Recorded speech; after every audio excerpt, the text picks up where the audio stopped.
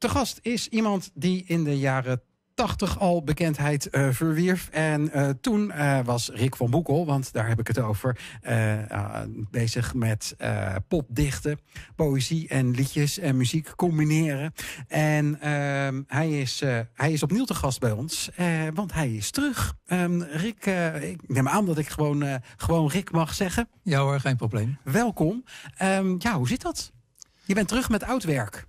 Ja, nou ja, ik ben terug met oud werk, maar eigenlijk ben ik nooit uh, opgehouden. Want uh, ja, de, die, uh, wat er nu op de LP Deze over te praten staat, dat zijn een aantal tracks van twee cassettes die in de jaren 80 zijn uitgekomen. In 1983 de cassette ook met de titel Deze over te praten. En 1984, hé, hey, wat moet dat? En toen had je echt een hele cassettecultuur in Nederland. En die cassettes kwamen uit bij het Leidse cassettelabel Cubus. Ja, ik ben gewoon altijd doorgegaan, ook in de jaren 90 en in de jaren nul van 2000. Eh, en toen kwam ik op een gegeven moment ook wel in het slam-circuit terecht. En ja, even wat. Uh, 1999 heb ik ook een uh, poëziebundel uitgebracht, De Witte Macedonica. En in 2005 en 2007 heb ik twee reisboeken uitgegeven. Eén heet Loslaten van Atlas, de andere De, reizende, de Zingende Palmen van Cuba. Nou ja, de naam zegt het wel, het gaat over Cuba. En daar ben ik vaak geweest. Maar ik ben altijd blijven optreden. En uh, zoals ik in uh, de jaren 80 optrad, uh, zoals ik ooit begonnen ben in 1982, toen ik was toen al met, met poëzie en voordrachten bezig, en daarnaast met percussie, kwam ik op het idee om dat te combineren. En dat sloeg meteen aan. Toen kwam ik in het circuit van popdichters terecht. En toen ging ik ook wel met geluidsbanden optreden, soms ook met andere muzikanten. En ehm, ja, dat, heb ik, dat doe ik nog altijd eigenlijk. En ja, twee jaar geleden, in 2018, heb ik een poëziebundel met een cd uitgegeven. Beweeg als een stratege heet die. En uh, dus het is, niet, het is wel oud werk, maar ik ben eigenlijk nooit opgehouden. Nee, weet je, je, precies van cassette naar cd en nu naar LP. waarom eigenlijk een LP? Waarom niet gewoon via Spotify? Nou, um, nou ja, over Spotify gesproken. Er staat ook werk van mij op Spotify. Uh, dat is nooit op uh, een album is uitgekomen. En ook op, op Apple Music en iTunes. Nou, het idee voor de LP kwam van het label. het label heet Raakvlak. is een label uit Den Haag. En in feite ben ik de tweede LP die zij uitbrengen. En zij hebben contact gezocht met mij via Rob Smit van het Cubus cassette label. En zij brengen eigenlijk alleen maar LP's uit. Interessant.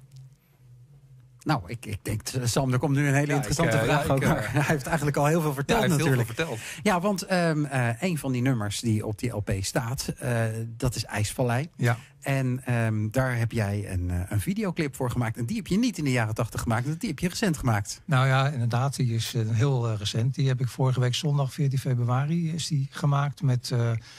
Uh, ja, Piet Zaalberg is iemand van uh, Raakvlak. En uh, Dirk Hogeveen is degene die de video heeft gemaakt. En die hebben we opgenomen bij de Wassenaarse Slag in de Duinen. En ja, het was natuurlijk twee jaar, één week geleden was het nog sneeuw en ijs overal. Nou ja, het, we hebben het nog zondag net op tijd gedaan. Want maandag begon het al te dooien. En ja, het nummer IJsvallei speelt zich dus ook af in, uh, in de sfeer van sneeuw en ijs. Dus het was mooi om dat ook echt op te nemen. Terwijl er nog allemaal sneeuw en ijs lag. En dat, uh, dat was ook zo. Het was prachtig ook om te zien uh, hoe het eruit zag bij de Wassenaarse slag. Ik denk dat we de videoclip maar uh, gaan kijken. Uh, van uh, dus jouw nieuwe oude LP is, is dit IJsvallei van Rick van Boekel. De mensen die naar de radio luisteren, die krijgen natuurlijk alleen de audio te horen. En wil je nou ook de videoclip erbij zien, moet je gewoon even Ziggo aanzetten. Kanaal 46 of sleutelstad.nl slash tv. En dan kan je de videoclip zien van IJsvallei.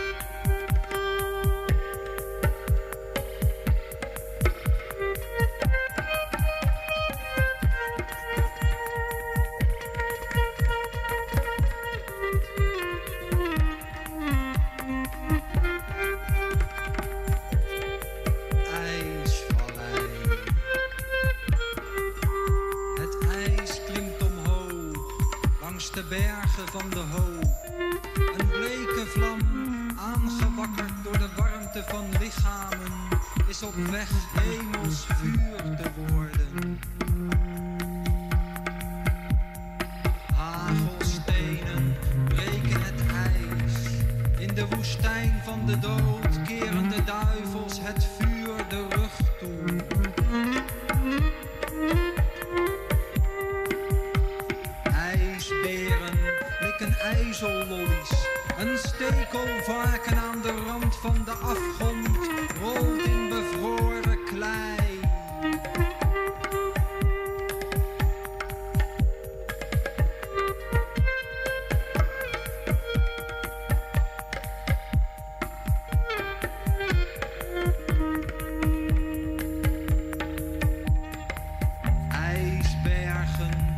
zoeken herboren Titanics. IJsbergen smelten af tot meren, spiegelend het heelal van marmer. Lawines van brokaat, gletsjerijs veranderen in woedende stromen vol stuwende passie, dansend als vochtig vuur van de kliffen.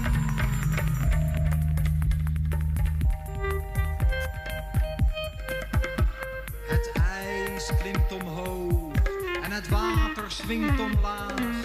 De heilige aarde gedoopt door brandend helschuim.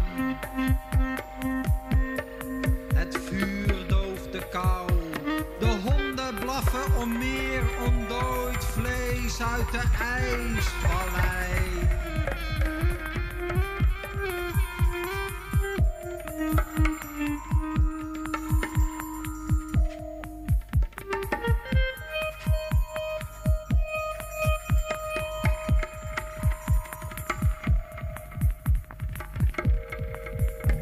Ja, dat was hem. De IJsvallei, Rick van Boekel. Eh, Rick, wat, hoe was dat om jouw eh, videoclip op tv te zien live?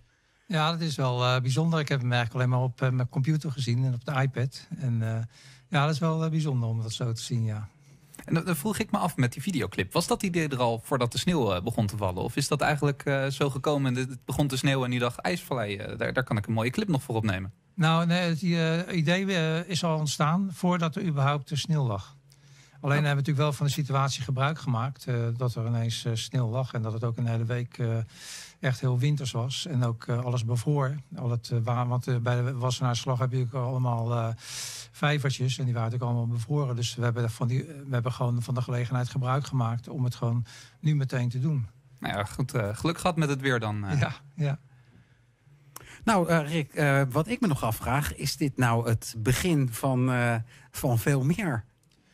Nou ja, dat vraag ik me natuurlijk zelf ook af. Dat, eh, nou ja, je, wa- wat ik nog even over, eh, verder wil zeggen is dat eh, de, de, jongens achter het label, ik zeg ook jongens, die zijn eind 20, eh, Tim Patmos en Piet Zaalberg.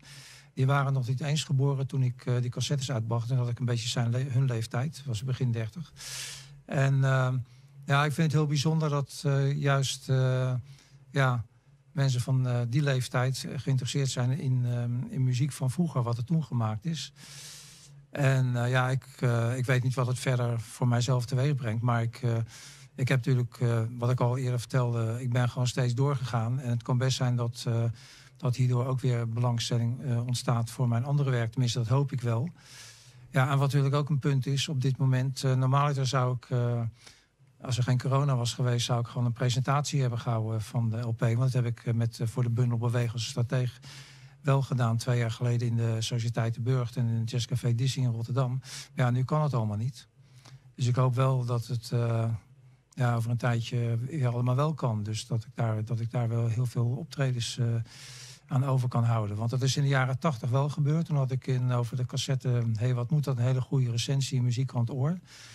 En dan heb ik zo'n beetje alle jongerencentra van Nederland van binnen gezien. Dan heb ik bijvoorbeeld ook in Paradiso de Melkweg opgetreden. En ook heel vaak in Leiden in het uh, LVC, wat nu dus Gebroeders de Nobel is. Daar heb ik ook vaak opgetreden. We gaan nog, uh, nog één nummertje uh, luisteren van de LP. Misschien kan je voor de kijkers thuis nog even de LP ook aan de camera laten zien. Zodat ze weten hoe die eruit ziet. We hebben het echt over een echte ouderwetse langspeelplaat. Hij, hij is te koop. En hoe kunnen mensen er trouwens aankomen? Hoe kunnen ze hem kopen? Nou, um, ze kunnen hem kopen via, de, via Rush Hour. Dat is een platenzaak in Amsterdam. Uh, die, zit, uh, die in het centrum zitten en uh, www.rushhour.nl. Of via Bandcamp, bandcamp.raakvlak.nl. Dat is de, de website van het label Raakvlak. Wij, wij gaan luisteren naar deze hoofden praten. ook dus van deze LP. En dan... Ja, kan, ik, kan ik ook nog iets over zeggen over die titel, maar dat zal ik zo even doen. Nou, doe het maar voordat we hem uh, gaan starten. Ja, nou ja, de uh, titel Deze Hoofd te Praten is gebaseerd op een hele bekende band. Maar als je dat even in het Engels uh, vertaalt, dan sta, staat These Heads Are Talking. Maar het gaat dus over de Talking Heads. Yes, hier zijn ze. De Talking Heads, oftewel Deze Hoofd te Praten van Rick van Boekel.